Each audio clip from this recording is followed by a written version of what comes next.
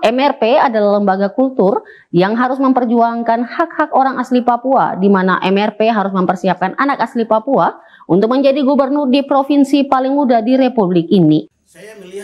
Majelis Rakyat Papua memiliki peran sentral dalam mempromosikan dan melindungi hak-hak masyarakat asli Papua. Menurut pengamat politik Papua Baradaya Otis Kambu, MRP seharusnya menjadi lembaga kultur yang gigih dalam memperjuangkan hak-hak orang asli Papua.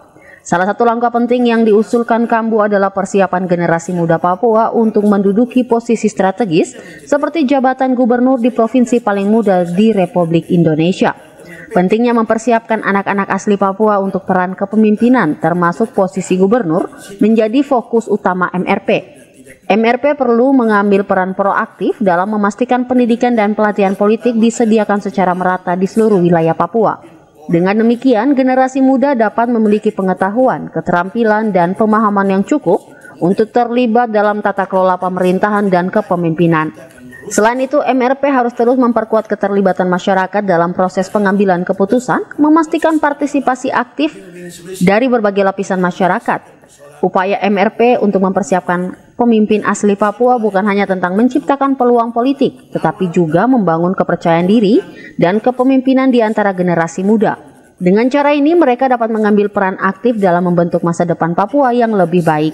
Saya melihat bahwa MRP ini adalah lembaga kultur yang uh, di mana aspirasi orang Papua itu akan uh, akan ter terrealisasi.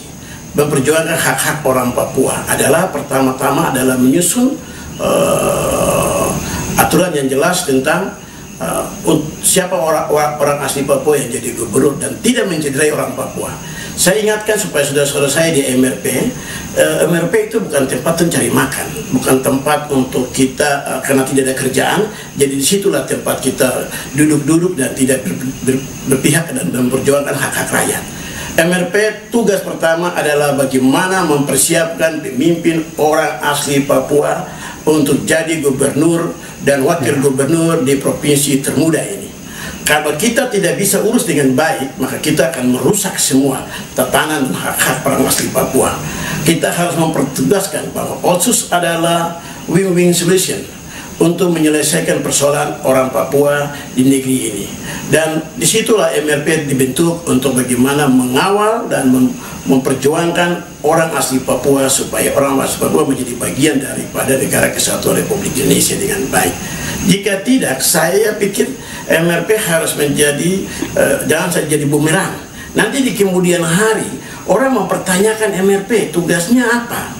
Bagaimana bisa uh, dengan gaji dan fasilitas yang besar, tetapi hasilnya tidak ada apa-apa.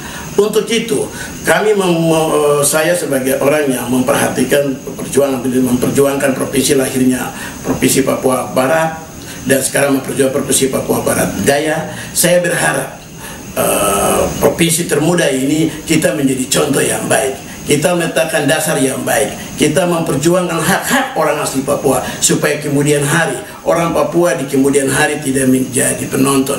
Kaum marginal atau kaum pinggiran yang hanya hanya jadi penonton di negeri ini dalam mengemban tugasnya, MRP dapat menjadi tulang punggung bagi aspirasi masyarakat Papua memastikan suara mereka didengar dan hak-hak mereka diakui. Pergeseran menuju kepemimpinan lokal yang kuat dan berdaya tahan dapat menjadi tonggak penting dalam membangun Papua yang adil, inklusif, dan berkelanjutan. Semi Venjalang, CWM Channel. Provinsi lahirnya Provinsi Papua Barat